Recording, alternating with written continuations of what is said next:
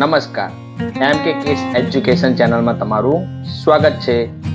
આજે આપણે મેટ એટલે કે માનસિક ક્ષમતા કસોટીની અંદર મહાશબ્દ વિશે ભાગ નંબર ચારમાં શીખીશું. તો આ વિડીયોને લાઈક શેર અને સબસ્ક્રાઇબ કરી દેજો, જેથી તમને એજ્યુકેશનના નવા વીડિયો સરળતાથી મળતા જાય અને એનએમએફના વીડિયો પણ મળી જાય. તો ચાલો હવે આપણે મહાશબ્દ વિશે સમજીએ. મહાશબ્દ. વિદ્યાર્થી મિત્રો, માનસિક કસોટીનો એક વિશિષ્ટ પ્રકાર છે, જેમાં તમને ચાર શબ્દો આપવામાં આવેલા હોય છે અને આપણે એમાંથી એક શબ્દ એવો પસંદ કરવાનો હોય કે જેની અંદર બાકીના ત્રણેય શબ્દોનો સમાવેશ થઈ જતો હોવો જોઈએ. તે શબ્દને આપણે બાકીના શબ્દ કરતા મહાશબ્દ તરીકે ઓળખીએ છીએ.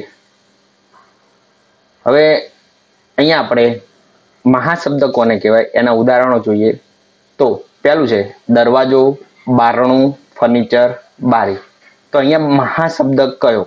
તો દરવાજો, બારણું, ફર્નિચર ને બારી. તો આપણે ચાર ઓપ્શન જોતા ખબર પડે કે જે ફર્નિચર છે, એ આ ત્રણેય વસ્તુ છે. એટલે કે મહાશબ્દ છે આપણો સી, ફર્નિચર. બે, A Gujarat, B, Bharat, C, Junagadh, D, Asia. તો અહીંયા આપણે જોઈ શકીએ કે જુનાગઢ ગુજરાતમાં આવેલું છે, ગુજરાત ભારતમાં અને ભારત એશિયામાં. તો મહાશબ્દ થયો ડી, એશિયા. ત્રણ. ગાય, ભેંસ પશુઓ અને ઘોડો. તો ગાય, ભેંસ અને ઘોડો, આ ત્રણે શું છે? પશુઓ. તો મહાશબ્દ શું થયો? સી, પશુઓ. ચાર. એ જઠર, બી પાચન તંત્ર સી સ્નાયુ અને ડી શરીર. એટલે કે જઠર પાચન તંત્ર અને સ્નાયુ. આ બધી વસ્તુ શરીરમાં આવેલી છે. એટલે કે મહાશબ્દ છે ડી, શરીર. પાંચ. એ સાપ બી પોપટ, સી સરીસૃપ અને ડી સજીવ. તો કે સાપ, પોપટ અને સરીસૃપ.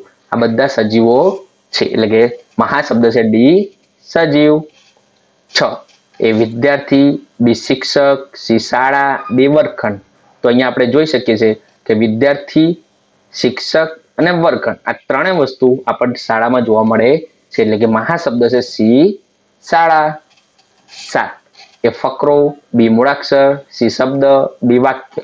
તો અહીંયા આપણે ઓપ્શન પ્રમાણે જોઈ શકીએ કે બી મૂળાક્ષરથી શબ્દ બને, શબ્દથી વાક્ય બને અને વાક્યથી ફકરો. તો અહીંયા મહાશબ્દ છે એ ફકરો. આઠ. એ જંગલ, બી દરિયો, સી પૃથ્વી, ડી પર્વત. તો અહીંયા આપણે જોઈ શકીએ કે જંગલ, દરિયો અને પર્વત આ બધું આપણે પૃથ્વીની અંદર આવેલું છે. એટલે કે મહાશબ્દ છે સી પૃથ્વી. નવ. એ વીટી બી ઘરેણું, સી હાર અને ડી બંગડી. તો અહીંયા આપણે જોઈ શકીએ છીએ કે વીટી હાર અને બંગડી, આ બધું ઘરેણું કહેવાય. એટલે કે મહાશબ્દ છે આપણો બી ઘરેણું. દસ. એ ખીર, બી ખાંડ, સી દૂધ, ડી ચોખા. તો અહીંયા મહાશબ્દ આપણે જોઈએ તો આપણને જોતા ખબર પડે ખીર. તો ખીરની અંદર ખાંડ પણ આવે છે, દૂધ પણ આવે છે અને ચોખા પણ આવે છે. એટલે કે આપણો મહાશબ્દ છે એ ખીર અગિયાર એ મહોલ્લો બી સોસાયટી સી ઘર અને ડી ગામ તો મહોલ્લો સોસાયટી ઘર આ બધું ગામની અંદર આવે છે એટલે મહાશબ્દ છે ડી ગામ એ દેશ બી રાજ્ય સી તાલુકો અને ડી ગામ તો ગામ એ તાલુકાના અંદર તાલુકો એ રાજ- દે- રાજ્યમાં અને રાજ્ય એ દેશમાં એટલે આપણો મહાન શબ્દ છે એ દેશ તેર એકી સંખ્યાઓ પૂર્ણ સંખ્યાઓ, અવિભાજ્ય સંખ્યાઓ અને બેકી સંખ્યા. તો અહીંયા આપણે જે એકી સંખ્યા છે, અવિભાજ્ય સંખ્યા છે, બેકી સંખ્યા, બધી પૂર્ણ સંખ્યાઓ છે. એટલે આપણો જવાબ છે બી પૂર્ણ સંખ્યાઓ ચૌદ. A oxygen, B nitrogen, C હવા અને ડી કાર્બન ડાયોક્સાઇડ. તો જે ઓક્સિજન, નાઇટ્રોજન અને કાર્બન ડાયોક્સાઇડ છે, એ શું છે? હવા. એટલે કે આપણો મહાશબ્દ છે સી હવા. પંદર. એ પુત્ર, બી દાદા, સી પિતા અને ડી પૌત્ર. તો અહીંયા આપણે જોઈ શકીએ કે પુત્ર એ પિતાનો હોય અને પૌત્ર દાદા. એટલે પુત્ર, દાદા, પિતા પૌત્ર. માં સૌથી મોટા કોણ? તો કે દાદા. તો મહાશબ્દ છે ડી, બી, દાદા. સોળ. હજાર બી સો સી કરોડ ડી લાખ. તો સો ની સો એ હજારમાં આવે, હજાર એ લાખમાં આવે અને લાખ એ કરોડમાં આવે. એટલે આપણો મહાશબ્દ છે સી, કરોડ, સત્તર. એ ગીગાબાઇટ કિલોબાઇટ બાઇટ અને મેગાબાઇટ આપણે મેમરી છે, એનો આપેલું છે. તો બાઇટ સૌથી નાનો એ કિલો કિલોબાઇટ કિલોબાઇટ એ એની ઉપર મેગાબાઇટ અને સૌથી ઉપર ગીગાબાઇટ તો આપણો મહાશબ્દ થયો એ ગીગાબાઇટ અઢાર.